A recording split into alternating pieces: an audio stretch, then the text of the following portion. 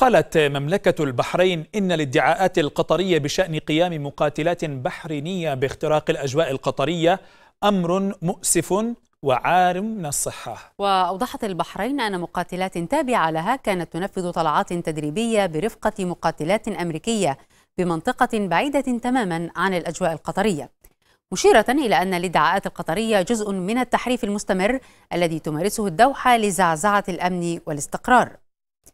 وأكدت البحرين أن هذه الإدعاءات تسهم في تصعيد التوترات في المنطقة مضيفة أن التصرفات القطرية تتنافى مع مبادئ حسن الجوار التي نصت عليها المواثيق الدولية. ودعا البيان قطر إلى وقف سلوكياتها الاستفزازية ودعمها للإرهاب وتدخلها في شؤون الدول المجاورة. كما أشار إلى أن الاتهامات القطرية المغلوطة هدفها صرف أنظار المجتمع الدولي عن سلوك الدوحة المؤسف بالمنطقة.